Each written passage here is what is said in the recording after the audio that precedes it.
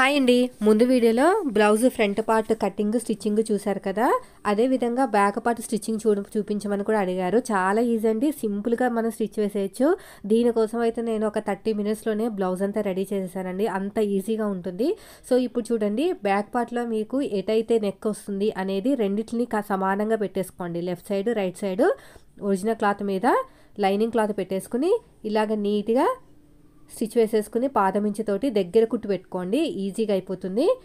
ఇలా కట్ చేసుకుని రౌండ్ తిరిగే చోట చిన్న చిన్న టక్స్ అనేది పెట్టేసుకోవాలి. ఇలాగా రౌండ్ తిరిగే చోట చిన్న చిన్న టక్స్ పెట్టేసుకుని ఇలాగా తిప్పేసుకుని తిప్పేసుకునే ముందు దీని మీద స్టిచ్ వేసుకోవాలి. లైనింగ్ మీద స్టిచ్ వేసుకుంటే చాలా ఈజీగా ఉంటుంది. ఇలా మొత్తం కూడా స్టిచ్ చేసుకుంటూ వెళ్ళిపోవటమే. చూస్తున్నారు కదా వీడియోలో ఎలాగైతే స్టిచ్ చేశానో అలాగా. తర్వాత వచ్చేసి మళ్ళీ క్లోజ్ చేసుకుని ఇంకో స్టిచ్ వేసేసుకోండి. చూడండి ఎంత ఈజీగా అయిపోతుందో నెక్ అనేది. చాలా సింపుల్గా కుట్టేయచ్చండి. దీనికోసం మనం ఎక్కువ తిప్పలు పడక్కర్లేదు. హెమింగ్తో పని లేదు. పైపింగ్ కూడా అవసరం లేదు. దల్సరిగా ఉంటుంది కాబట్టి క్లాత్ అనేది ఇలా కుడితేనే బాగుంటుంది. నీట్గా ఉంటుంది ఫినిషింగ్ అనేది. లేదంటే మళ్ళీ దల్సరిగా ఎక్కువైపోయి కూడా అంత లుక్ అనిపించదు. పాదం ఇంచుతోటి పైన ఇంకొక స్టిచ్ అయితే వేసేస్తున్నాను. అంతే. సో నీట్గా చేసేసుకోండి. ఏమైనా పోగులు అనేది బయటకు వెళ్తుంటే తర్వాత మొత్తం లైనింగ్ అంతా జాయిన్ చేసేసుకోవాలి. చూసారు కదా నేను ఎలాగైతే జాయిన్ చేసుకుంటున్నానో అలాగా. ఇలా మొత్తం కూడా జాయిన్ చేసేసుకోండి. ఇక్కడ కూడా అంతే. ఇలాగ జాయిన్ చేసుకుంటూ వెళ్ళిపోవటమే. చాలా సింపుల్గా ఉంటుంది ఈజీగా ఉంటుంది. ఇక్కడ ఎగస్ట్రా ఉన్న క్లాత్ని మొత్తం కట్ చేసేయండి. ఇక్కడ కూడా అంతే. చూస్తున్నారు కదా వీడియోలో ఎలాగైతే కట్ చేస్తున్నానో అలాగా.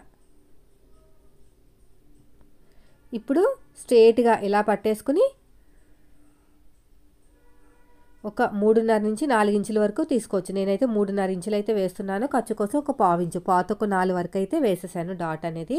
తర్వాత వచ్చేసి రెండో సైడ్ కూడా అంతే.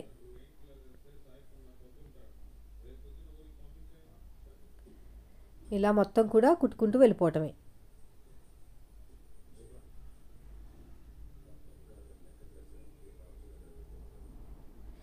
ఇప్పుడు ఎగస్ట్రా ఉన్న క్లాత్ని కట్ చేసేయండి.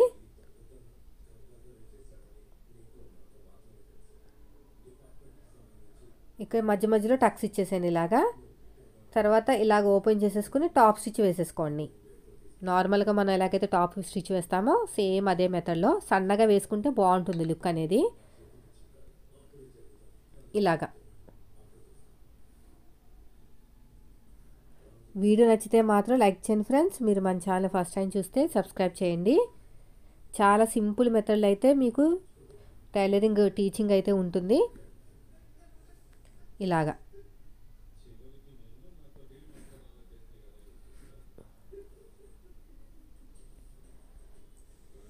చూస్తున్నారు కదా నేను ఎలాగైతే స్టిచ్ వేస్తున్నానో అలా వేసేసుకుంటూ వెళ్ళిపోవటమే. ఇప్పుడు లైనింగ్ అంతా జాయిన్ చేసేయండి. ఇలాగా మొత్తం కూడా.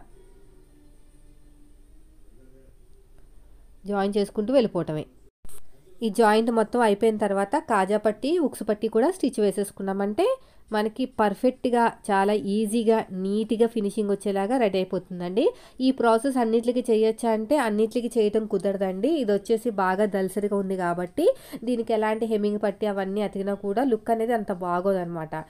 పైగా వేరే పల్చటి కోతకి మాత్రం ఈ ప్రాసెస్లో ఫాలో అయ్యారంటే తొందరగా చిరిగిపోయే ఛాన్సెస్ ఉంటాయి. ఇవైతే చిరగవు. అంత ఫాస్ట్గా ఏం చిరగవు. అందుకని నేను ఈ మెథడ్ అనేది మీతో షేర్ చేశాను. సో ఇప్పుడు చూడండి. ఇంకో పక్కన ఇంకొక స్టిచ్ అయితే వేసేద్దాం. పక్కకి ఇంకో స్టిచ్ వేసేసుకోవాలి.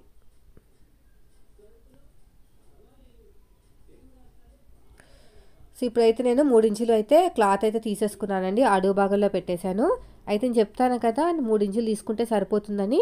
ఆ మూడించులతోటే నేనైతే కాజా పట్టి వేసేస్తున్నాను అడుగు భాగంలో పెట్టేసి ఇక్కడ నెక్ వైపుకు ఫోల్డింగ్ చేసేస్తున్నాను. ఎందుకంటే ఆల్రెడీ నెక్ అనేది ఫోల్డింగ్ అయిపోయే ఉంది అందుకుని. తర్వాత ఇలాగ తిప్పేసుకుని ఇంకొక స్టిచ్ అయితే వేసేసాను. ఇలాగ మళ్ళీ తిప్పేసుకుని ఇంకొక కుట్టు. ఇప్పుడు ఎగస్ట్రా క్లాత్ని మొత్తం నీట్గా కట్ చేసేయండి.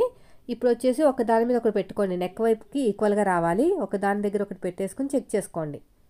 తర్వాత వచ్చేసి ఉక్స్ పట్టి అండి. ఒకటిన్నర ఇంచ్ అయితే ఉక్సుపట్టి సరిపోతుందండి. అందుకని ఎక్కువ ఉన్నా కూడా అస్సలు బాగోదు.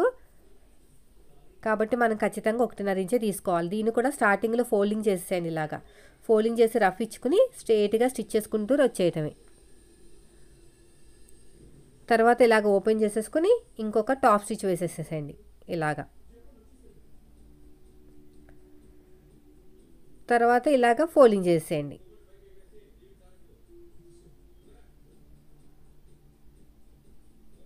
ఇలా తిప్పేసుకుంటే సరిపోతుంది. చూసారా? ఇలా ఒక దాని మీద ఒకటి పెట్టేసుకుని చెక్ చేసుకోండి. ఎంత కరెక్ట్గా వచ్చేసిందో? అంతేనండి. చాలా సింపుల్గా బ్యాక్ పార్ట్ అయితే రెడీ అయిపోయింది కదా. మీరు కూడా ఈ మెథడ్లో ట్రై చేయండి. వీడియో నచ్చితే లైక్ చేయండి.